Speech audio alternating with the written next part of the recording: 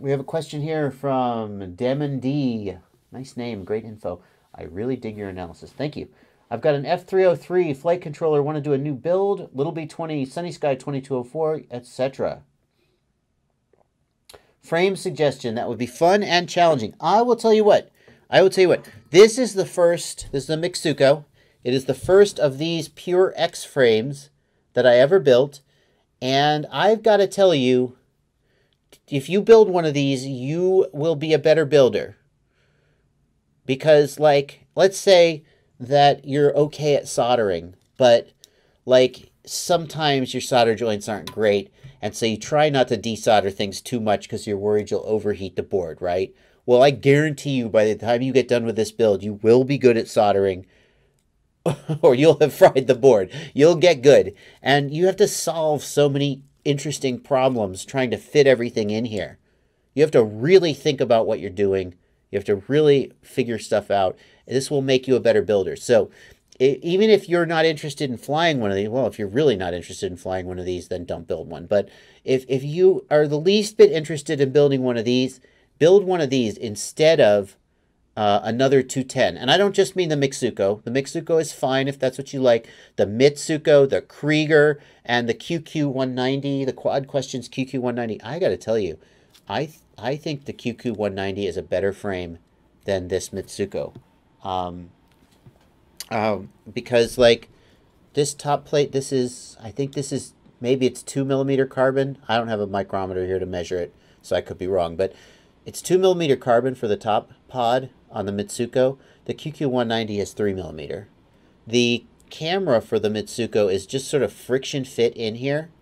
And if you look at my review of the QQ190, it's got this really nice little locking mechanism that holds the camera in. The camera for the QQ uh, uh, for the Mitsuko is actually glued in with foam tack glue. I don't know if you can see that. Yeah, that's okay. It's it's probably it's fine, but like I don't know. The other one is held in with screws.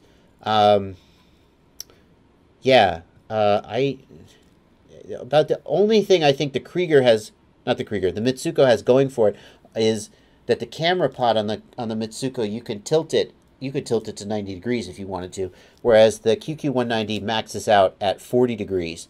Although they do make, they have, I don't think it's for sale yet, but it was on their Facebook page.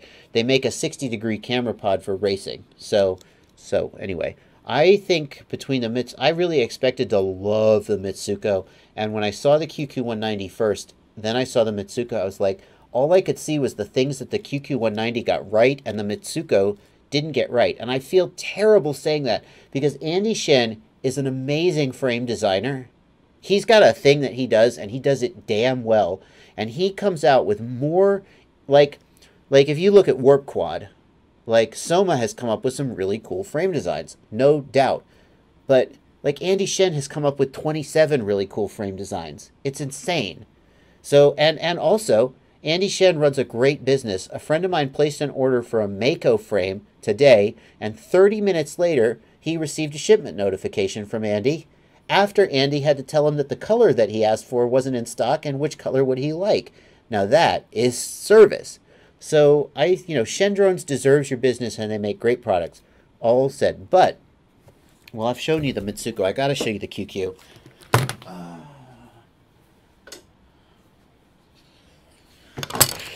and and I have a review of the QQ190 on my channel. You can check it out. Obviously, it's a bottom plate, right? Big deal. It's a it's a bottom plate, and here's the camera pod on it. Now look at that. Look at that. It's 3 millimeter carbon, I believe. Again, I don't have a micrometer. It's this cool little locking with, with actual screws and these little cross pieces lock the camera in place. There's a neat little, they send you a little screw to act as a, uh, uh, I don't know what to call it, to sit, sit in this hole and let the camera pivot. It acts as a pivot.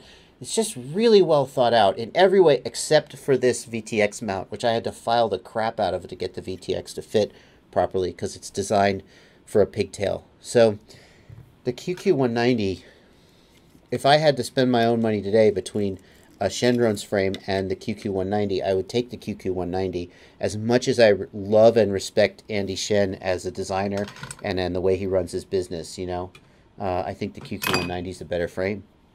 I haven't flown it yet, so, But I mean, how much di- how much difference could there be?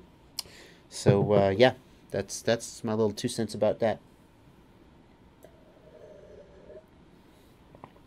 You asked, do you have a frame suggestion that would be fun and maybe challenging? Just to sum up that answer, and the answer is for a fun and challenging frame and a different flight experience. If you haven't flown one of these, give it a try. I'm not guaranteeing that you'll love it, but it's really weirdly different than flying like a 210 H quad.